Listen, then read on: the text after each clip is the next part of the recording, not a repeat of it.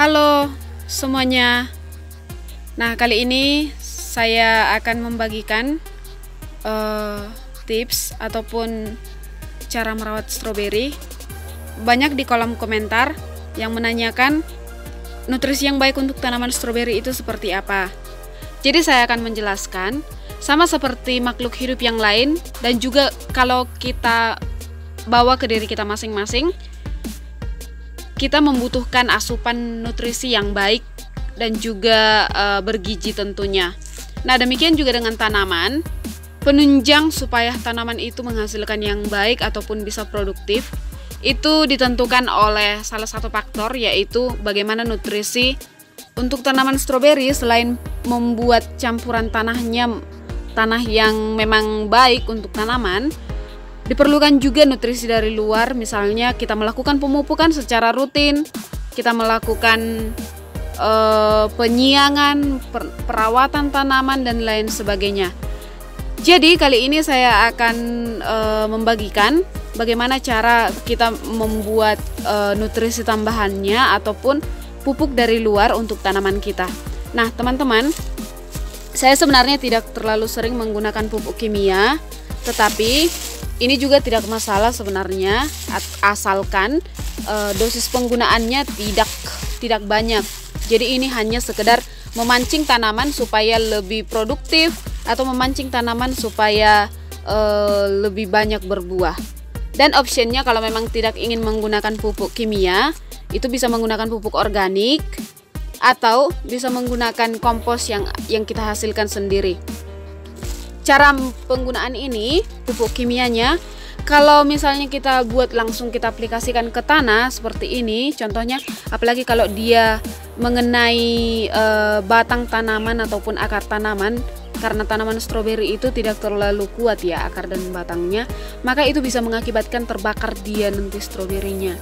Dia jadi gosong gitu. Karena apa? Karena terlalu kuat dia. Jadi uh, saya tidak menyarankan penggunaan pupuk kimia langsung ke ke batang ataupun mengenai akar tanaman secara langsung. Cara yang lebih baik kalau memang ini kita langsung aplikasikan ke tanah yaitu dengan di tempat yang memang tidak uh, tidak mengenai akar dan juga batang secara langsung dan juga ya kita campurkan ke tanahnya seperti itu. Tetapi penggunaan yang lebih baik menurut saya itu adalah kita buat dia menjadi cairan. Caranya adalah sebagai berikut. Jadi ini contohnya uh, pupuknya 500 gram atau setengah kilo. Caranya sangat gampang. Ini kita buat di suatu wadah. Ini masih ada paragon. Ini bekas cat yang kami pakai. Nah, sudah ada air di dalamnya. Air bersih kalau bisa. Nah, kemudian kita campurkan pupuk tersebut ke dalam airnya. Ini supaya lebih aman kita gunakan, guys. Jadi, daripada beresiko tanaman kita mati setelah dipupuk kan gak asik. Maka lebih baik kalau kita buat dia menjadi cairan yang jauh lebih aman.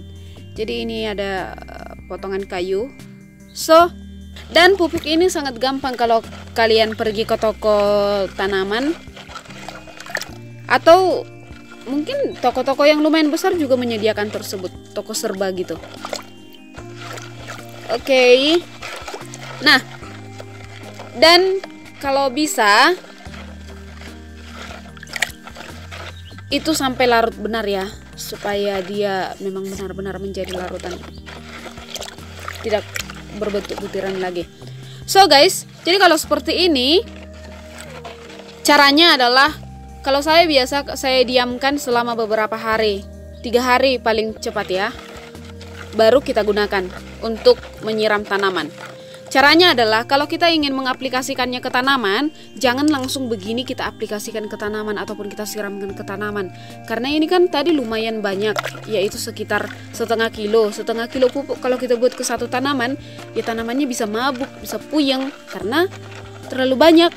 Nah, jadi caranya adalah nanti setelah tiga hari, tiga hari didiamkan sampai dia benar-benar uh, tanam uh, pupuknya memang udah bisa digunakan lah gitu. Jadi biasa saya menggunakan itu misalnya seperti ini. Satu gelas itu dicampurkan dengan kira-kira satu ember, satu ember yang sedang aja. Sebenarnya kira-kira aja sih.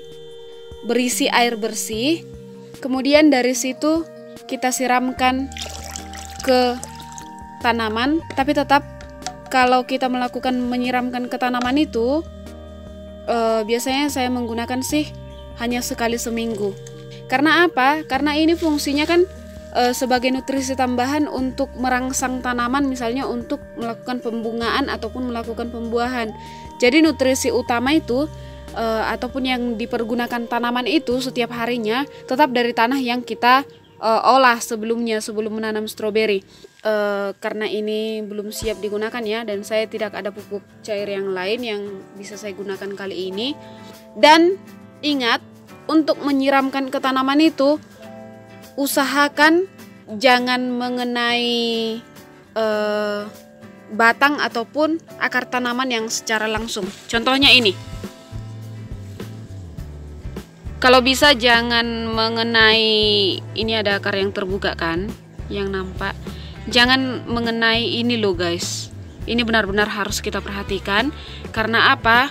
Karena bisa aja uh, tanaman ataupun akar tanaman tersebut terlalu lemah untuk menerima pupuk yang dari luar itu sehingga bisa mengakibatkan uh, tanamannya jadi mati, jadi gosong gitu.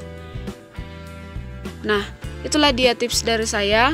Semoga bermanfaat dan juga uh, sebenarnya kita tidak perlu takut menggunakan pupuk kimia selagi itu masih di batas yang normal ataupun dosisnya tidak banyak, tidak tidak terlalu tinggi. Artinya, nutrisi tanaman tidak melulu tidak semata-mata hanya dari pupuk kimia tersebut.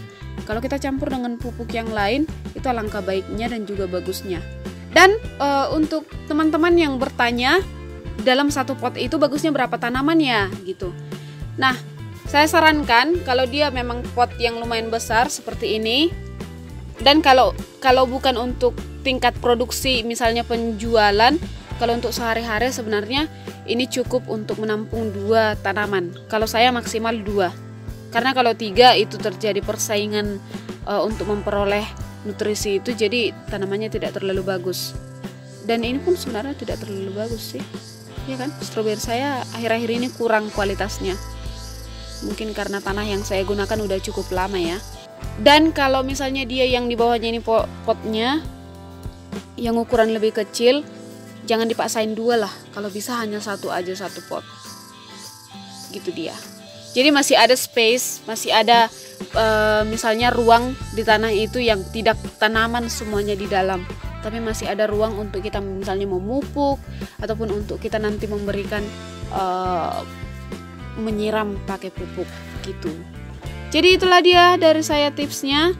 Terima kasih sudah menonton. Bye bye Semoga sukses bertanam stroberi.